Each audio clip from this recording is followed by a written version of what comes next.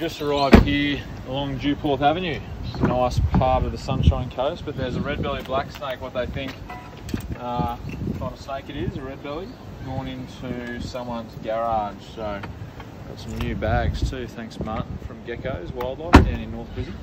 Um, but yeah, we're going to head in. Apparently it's in the garage and we'll see what we can find. Just there. Right near the wall. Oh, yeah. I think it's only down there. Oh, yeah, it's a decent size. It looked three metres when I first saw it. Anyway, okay, it's just doing. Oh, that's coming back here. Hold on.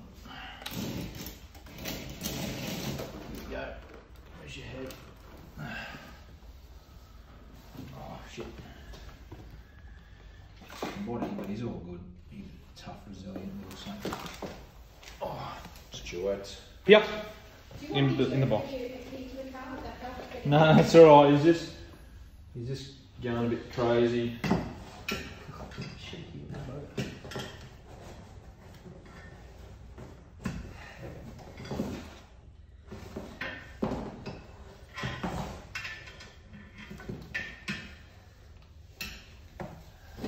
Now he's out.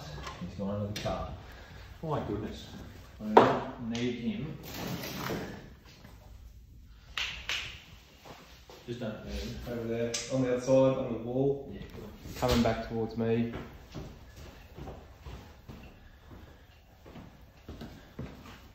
Ah, thank you. Yeah, finally. My goodness.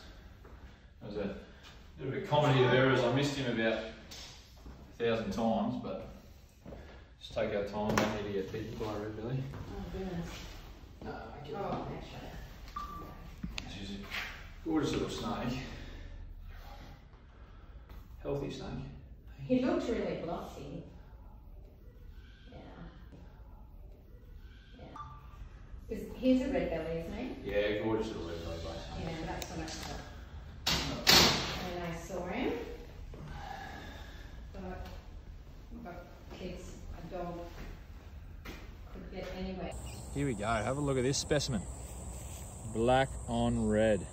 These are why they're one of my favourite snakes to catch. Eat. can be quick when they want to be. Perfect little bit of bush to let him go, and uh, he's out of the lady's garage now. All right, he's keen to go. You go then. Watch him disappear.